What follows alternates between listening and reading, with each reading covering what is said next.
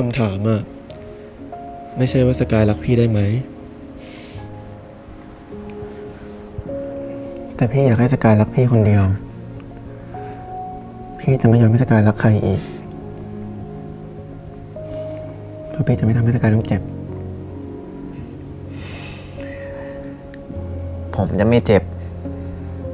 ถ้าพี่ยังอยู่ข้างๆผมแบบนี้ ไม่ร้องไห้นะ อืม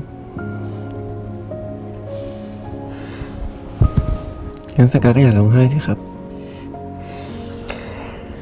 ใครร้องไห้ นี่น้ำตาแห่งความสุขต่างหากงั้นพี่ก็มีความสุขเหมือนกัน ที่สกายอยู่ในอ้อมกอดพี่แบบนี้